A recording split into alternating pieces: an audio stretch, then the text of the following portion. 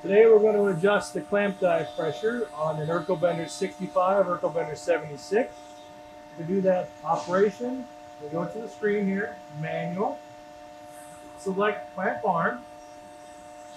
We want to close the cylinder of the clamps to read the pressure. So we're going to take your handheld, hit plus, actuate the cylinder, close the fingers. While the fingers are closed, the cylinder is engaged, look at the gauge reading the pressure and bar here on the gauge for the clamp and adjust if you need to. To adjust that, we're going to take the jam nut loose, read the pressure, use the knob, adjust up or down as needed, tighten the jam nut when you're done. And that's the complete process.